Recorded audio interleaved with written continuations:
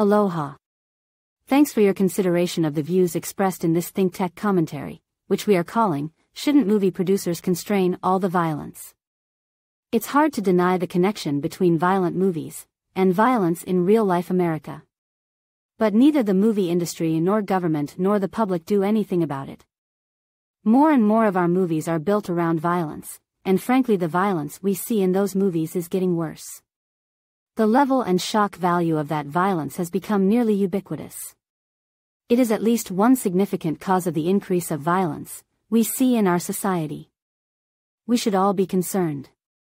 We have failed to regulate the guns, even assault weapons, and we also surround ourselves with movies that teach us that using them is okay, and that modern medicine can miraculously fix the gunshot wounds we suffer, at least for the good guys.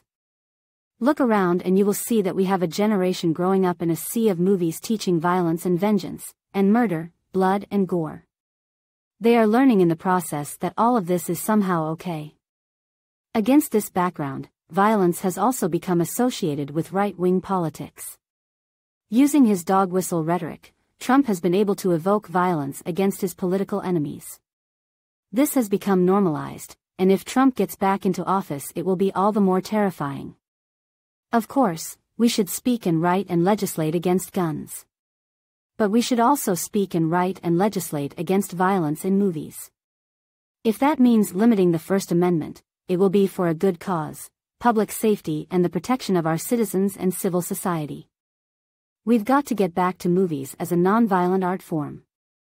In some ways the genie of violent movies is out of the bottle, but we've got to do something to put it back in, and avoid the destructive lessons that so many movies now provide. If the industry will not regulate itself, we must demand that government, with the help of the courts, properly regulates this problem.